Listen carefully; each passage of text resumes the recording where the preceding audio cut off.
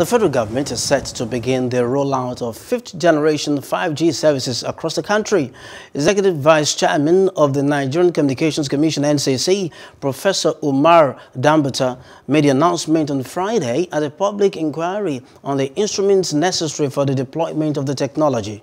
The instruments are the annual operating levy regulations and the frequency spectrum regulations. Speaking further, Professor Danbatta explained that the Commission has submitted the proposal to the Ministry of Communication and Digital Economy and is awaiting approval from the federal government to roll out the services.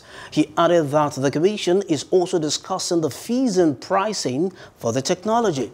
The NCC and the Nigerian Communications Satellite had signed a memorandum of understanding in May to facilitate the deployment of 5G technology.